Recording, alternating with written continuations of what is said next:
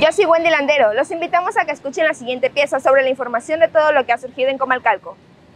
En el marco de los festejos por el Día de Reyes, el presidente municipal de Comalcalco encabezó desde la escuela primaria José María Pino Suárez de Ciudad Tecolutilla y el Jardín de Niños Concepción González Naranjo del poblado Miguel Hidalgo la puesta en marcha de la entrega de 39 mil regalos que los Reyes Magos dejaron a niñas y niños de preescolar y primaria del municipio.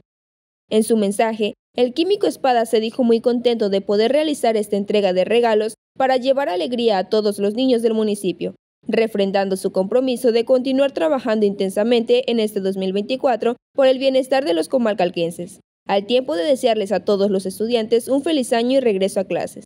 En ambos planteles, estudiantes, docentes, administrativos y padres de familia agradecieron al presidente y a sus colaboradores por tener tan lindo detalle con los más pequeños, preservando las tradiciones y llevando felicidad y alegría.